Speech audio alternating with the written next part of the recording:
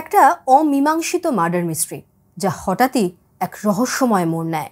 ভারতের সর্বপ্রথম কালা জাদু বা ব্ল্যাক ম্যাজিকের একটি ঘটনা, যেটি আদালত অবধি গড়িয়েছিল এবং তার দোষীদের শাস্তিও হয়েছিল। যদিও তখনও এর কোনো নির্দিষ্ট আইন তৈরি হয়নি। হ্যালো, আমি অতসী। চ্যানেল কালসের এই এপিসোডে আপনাদের সকলকে স্বাগত জানাই। একটি রোমহর্ষক কাহিনী আজকে আপনাদের সামনে নিয়ে এসেছি। অবশ্যই সেই শব্দে সঙ্গে থাকুন। দরজার কলিং বেলটা বেজে উঠল। এই সময়ে কে আসতে পারে? চিন্তা করে বাড়ির মালিক দরজার দিকে এগিয়ে গেলেন। দরজা খুলেই দেখলেন একজন ডেলিভারি বয় হাতে একটা বড় বাক্স নিয়ে হাসি মুখে তার দিকে তাকিয়ে আছে। এটি কে পাঠিয়েছে? জিজ্ঞাসা করায় সে জানায় যে সে তা জানে না। তবে এই বাড়িতেই সেটি পাঠানোর অর্ডার দেওয়া ছিল। এই বলে ছেলেটি সেখান থেকে চলে যায়। বাড়ির মালিক দরজা বন্ধ করে তাদের ড্রয়িং রুমে এসে বসেন। বাড়ির মালিক নিকোলাস ডেগা। তিনি সেই বড় বাক্সটি খুললেন আর অবাক হয়ে দেখলেন সেই বাক্সের মধ্যে একটা বড় সাইজের কেক। আর দেখতেও বেশ সুন্দর, কিন্তু ডিজাইনটা বড় অদ্ভুত। আর সেটার উপর লেখা আছে ফ্রম এ বেস্ট ফ্রেন্ড তিনি প্রথমে কেকটি খেতে রাজি হলেন না, কারণ সেটার ওপর কারোর নাম লেখা ছিল না। নিকোলাস ডেগা তার স্ত্রী রোজি মেরি ও তিন সন্তানের সঙ্গে সেই বাড়িতে বাস করতেন। তার বাবাও তাদের সঙ্গেই থাকতেন। বাচ্চারা সেই কেক দেখে এতটাই এক্সাইটেড ছিল যে তারা কিন্তু সেই কেক খাওয়ার জন্য ভীষণ বায়না করতে লাগল। নিকোলাস প্রথমে তো সেই কেকটি খেতে রাজি হননি, কিন্তু বাকিদের কথায় তিনি একটুখানি টেস্ট করলেন। তার বাচ্চারা বেশ পেট ভরে সেই কেক খেলো। শুধু তাই নয় বাড়ির কাজের লোক, এমনকি সেই কেকের কিছুটা অংশ তিনি তার ভাইয়ের বাড়িতেও পাঠালেন। কিন্তু কে পাঠালো এই কেক? কেনই বা পাঠালো? হঠাৎই রাত এগারোটা নাগাদ নিকোলাস ডেগা পেটে ব্যথা অনুভব করলেন। তিনি উঠে বসলেন। তার আওয়াজ পেয়ে তার স্ত্রী রোজিমেরিও উঠে বসলেন এবং তিনিও তার পেটে একটু ব্যথা অনুভব করলেন। দুজনেই চিন্তা করতে লাগলেন যে হঠাৎ এমন কি খেয়েছেন? যাতে দুজনেরই পেট ব্যথা করছে। তাদের সন্দেহ হলো আচ্ছা ওই কেকের মধ্যে কিছু ছিল না তো? আর তার বাচ্চারা কিন্তু অনেকটা করে কেক খেয়েছে। দুজনে ছুটে গেলেন বাচ্চাদের ঘরের দিকে আর সেখানে গিয়ে তাদের পায়ের তলা থেকে মাটি সরে গেল। তার তিন সন্তানই রক্তবমি করছিল আর যন্ত্রণায় ছটপট করছিল। তাদেরকে হসপিটালে নিয়ে যাবেন চিন্তা করে নিকোলাস দৌড়ে গেলেন তার কাজের লোকেদের ঘরের দিকে। কিন্তু এ কি? সেখানেও তো একই কাণ্ড।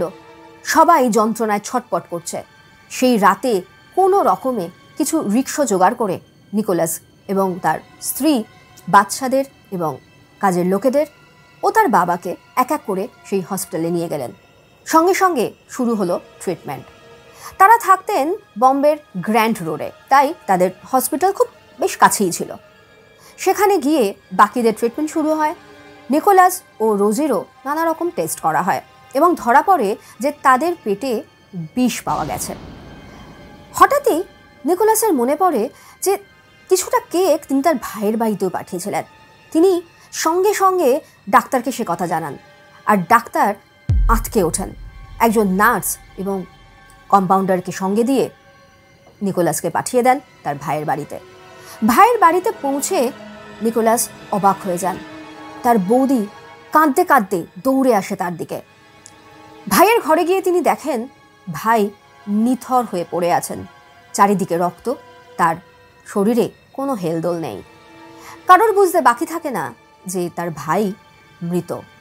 নিকোলাস কাঁদতে কাঁদতে তার বৌদিকে জিজ্ঞাসা করেন, আর কেউ বাড়িতে সেই কেক খেয়েছিল কিনা কিন্তু সৌভাগ্যবশত সেদিন ওই কেক যতক্ষণে তাদের বাড়িতে পাঠানো হয়েছিল, বাকিরা ঘুমিয়ে পড়েছিল। তাই একমাত্র নিকোলাসের ভাই সেই কেক খেয়েছিলেন। নিকোলাস এবার ছুটে যান হসপিটালে।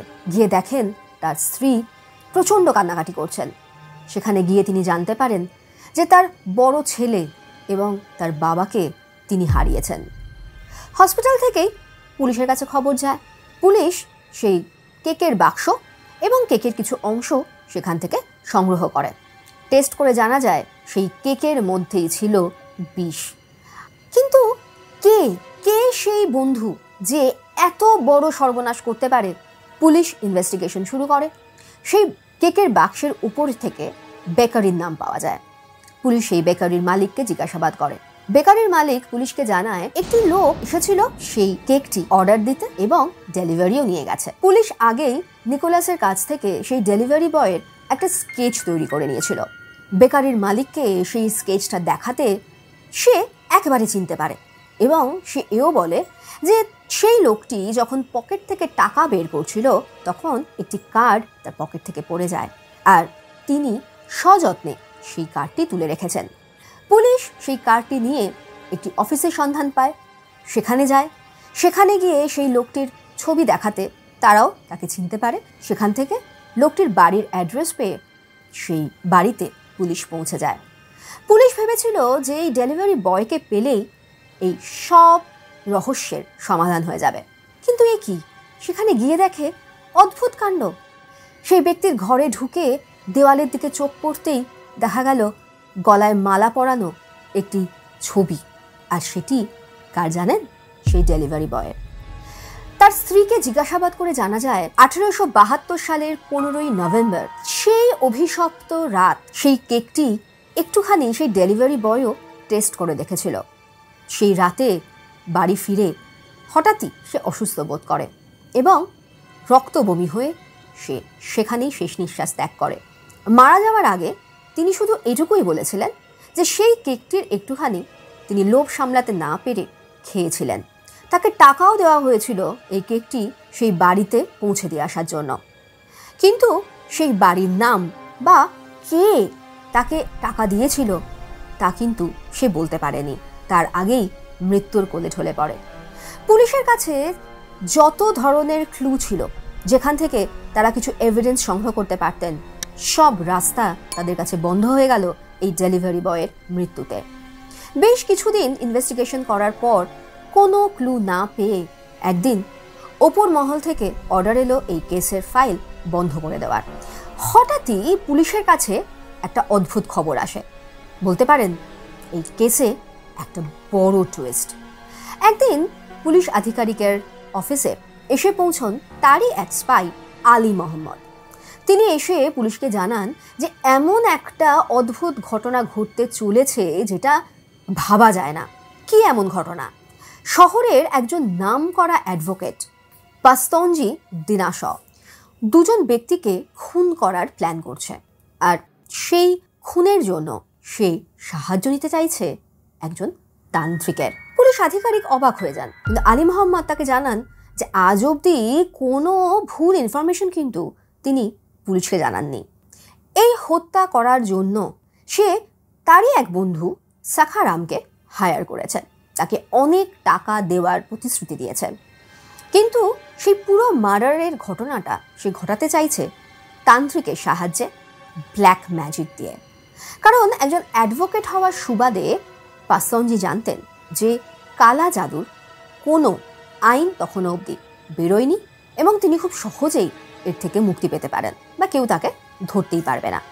কিন্তু আগের ঘটনার সাথে এই ঘটনার সম্পর্ক কি? আসলে যে দুজন লোককে মারার প্ল্যান করছেন পাস্তঞ্জি দিনাশ তারা আর কেউ নন। নিকোলাস ডেগা ও তার স্ত্রী রোজিমেরি ডেগা। পুলিশ অবাক হয়ে যায়। এত বড় একটা অ্যাডভোকেট তার কি এমন শত্রুতা থাকতে পারে? পুলিশের মাথায় আসে সেই যে কেক দিয়ে তাদের মারার একটা পরিকল্পনা করা হয়েছিল। এর পেছনেও সেই অ্যাডভোকেটই নন্ত আলী মাহমদ জানায় যে তার একজন পরিচিত তান্ত্রিক আছে। সেই তান্ত্রিককে সে সাখারামের সাথে আলাপ করিয়ে দেবে আর বিশ্বাস অর্জন করবে যে সেও সেই অ্যাডভোকেট আর সাখারামের সঙ্গেই হাত মিলিয়েছে। অনেক আলোচনার পর তারা একটা নির্দিষ্ট প্ল্যান কষেন আর সেই প্ল্যানেরই ভিত্তিতে আলী মোহাম্মদ গিয়ে পৌঁছন সাখারামের বাড়িতে এবং সাখারামকে সে জানায় যে তার কাছে একজন তান্ত্রিক আছে। সেই সেই তান্ত্রিক প্রত্যেক শনিবার করে নদীর ধারে বসেন এবং এইসব কাজে তিনি খুব এক্সপার্ট সাখারাম তো এটাই চাইছিল। তাই সাখারাম এক কথায় রাজি হয়ে যায়। সাখারাম আলী মোহাম্মদকে বলে যে, পাস্তঞ্জি দেনাসর কাছে তাকে তিনি নিয়ে যাবেন। যেমন কথা, তেমন কাজ। রাতের অন্ধকারে দুজনে গিয়ে উপস্থিত হয় সেই অ্যাডভোকেটের বাড়িতে। অন্ধকারের মধ্যে হলে একজন মাথায় লম্বা হ্যাট পরা, চোখে কালো চশমা এসে উপস্থিত হয় হাতে একটা ক্যান্ডেল নিয়ে। আলী মোহাম্মদের বুঝতে অসুবিধা হয় না এই সেই অ্যাডভোকেট সাখারাম আলী মোহাম্মদের সাথে তার আলাপ করিয়ে দেন এবং তাকে জানায় যে এরকম একজন তান্ত্রিক আছেন যার নাম কাকেশা। প্ল্যান মাফিক আলী মোহাম্মদ শনিবার রাতে নদীর ধারে সেই ঝুপড়িতে নিয়ে যায় বাস্তঞ্জি দিনাশ এবং সাখারামকে, যেখানে একটা উঁচু বেদির ওপর বসেছিল তান্ত্রিক কাকেসা। বাস্তঞ্জি কাকেশাকে জানায় যে এরকম দুজন লোক আছে যাদেরকে তিনি হত্যা করতে চান, কিন্তু সেটাও ব্ল্যাক ম্যাজিকের সাহায্যে।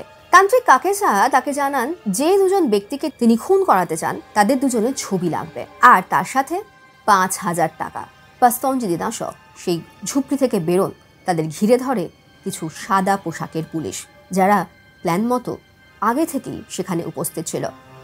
আর কিছু পুলিশ সাদা পোশাকে সেই ঝুপড়ির ভেতরেও ছিল। তারাও ভেতর থেকে বেরিয়ে এসে সাখারাম এবং পাস্তঞ্জি দিনাশকে অ্যারেস্ট করে। মিস্টার অ্যান্ড মিসেস ডেগার থানায় আসার খবর শোনা মাত্র পাস্তঞ্জি দিনাশ বলতে শুরু করেন, তিনি আসলে এই ডেগা ফ্যামিলির লিগাল অ্যাডভাইজার। প্রচুর সম্পত্তি এই নিকোলাস ডেগার। সেই সব কিছু তিনি দেখাশোনা করতেন। আর এই সুযোগে কিছু জমি তিনি নিজের নামে করিয়ে নিয়েছিলেন। কিছু টাকা তিনি নিকোলাস ডেগার কাছ থেকে ধারও করেছিলেন। সেই ধারও উনি শোধ করতে পারেননি, তার বিরুদ্ধে কেস করা হয়। আর সেই রাগেই পাস্তঞ্জি বিষ ভরা কেক পাঠিয়েছিল নিকোলাস ডেগার বাড়িতে। পুলিশের কাছে পাস্তঞ্জি দিনাসর বয়ান ছিল, পাবলিক প্রসিকিউটর, অর্থাৎ সরকারি আইনজীবীর সঙ্গে পুলিশ, আলী মোহাম্মদ সবাই একটা মিটিংয়ে বসেন। সেসব দিক স্থির হয়। মার্ডার করার ষড়যন্ত্রটাকে প্রাধান্য দেওয়া হবে। সেই মতো কোর্টে কেস ওঠে। ভারত তখন স্বাধীন ছিল না। তাই কোর্টে ইংরেজ সরকারের একজন জাজ ছিলেন আর দশজন ভারতীয় জুরি মেম্বার সেখানে ছিলেন। পাস্তঞ্জি দিনাশ তার জন্য দুজন অ্যাডভোকেটকে হায়ার করেন। কিন্তু সাখারাম হায়ার করেছিলেন বদরুদ্দিন তায়াবজিকে, যিনি ভারতের প্রথম ব্যারিস্টার এবং পরবর্তীকালে যিনি মুম্বাই হাইকোর্টের চিফ জাস্টিসও হয়েছিলেন। যাই হোক, দুপক্ষের উকিলের কথোপকথন শুরু হয়। প্রথমেই সরকারি আইনজীবী কোর্টকে জানায় যে এই পাস্তঞ্জি দিনাশ এবং সাখারাম একজন তান্ত্রিককে হায়ার করেছেন নিকোলাস ডেগা ও তার স্ত্রী রোজি মেরিকে হত্যা করার জন্য। আর সেটাও ব্ল্যাক ম্যাজিকের সাহায্যে। অপরদিকে সাখারাম ও বাস্তঞ্জির যারা উকিল তারা এটাই বলতে থাকেন যে নিকোলাস জেগা এবং রোজে মেরিকে হত্যা করার যে একটা ষড়যন্ত্র করার কথা বলা হয়েছে, তারা কিন্তু এখনও পর্যন্ত জীবিত। অর্থাৎ তাদের কিন্তু এখনও হত্যা করা হয়নি। তাহলে কি বেসিসে এই দুজনের ওপর কেস চলতে পারে? সরকারি আইনজীবী একজন সাক্ষী হিসাবে আলী মাহমদকে সেখানে পেশ করেন। আলী মাহমদ প্রথম থেকে সব ঘটনা কোর্টের সামনে জানায়। এরপর তান্ত্রিক কাকেসাকে সেখানে হাজির করা হয়। তান্ত্রিক কাকেসা আদালতের সামনে সব কথা খুলে বলে।